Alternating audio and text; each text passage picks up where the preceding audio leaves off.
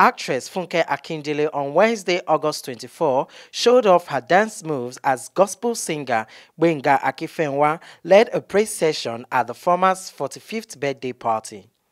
The movie star, who dances occasionally on social media, stormed Instagram to share videos from the birthday party where gospel singers Tope Alabi and Akpekiola Ogbogofelemi also performed.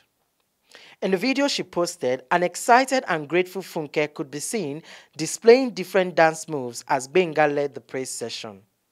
A worship session was also led by Gbenga, whose ministration got some of the guests on their knees as they raised up their hands in thanksgiving to God. In one of the videos she posted, Funke could also be seen shedding tears as she expressed gratitude to God while Tope led another worship with her band. Tope could also be seen making prophetic declarations and showering praises on the 45-year-old. After Tope's worship session ended, Akpekiola began a praise session with her band while Funke and other guests at the party showed off their dance moves.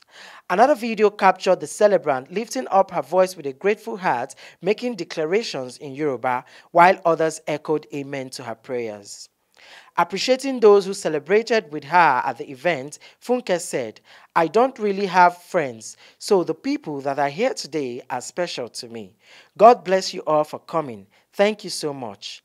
Captioning the video she posted, Funke wrote, quote, Here are some of the highlights of my birthday yesterday. I bless God for making it a success. Thank you all for the well wishes and heartfelt prayers. May God bless you all.